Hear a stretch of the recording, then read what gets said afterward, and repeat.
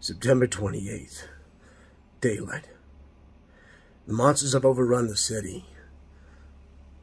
Somehow, I'm still alive. Hey, hi everyone. Uh, hi Moni. This is Evan Sabba. Uh, you may recognize me as the voice of Brad Vickers in the original Resident Evil 3. Uh, I just wanted to wish everybody a happy September 28th. I hope you're all doing well, and I hope you're having a great day. Uh, just remember to stay safe and, um, you know, uh, take care.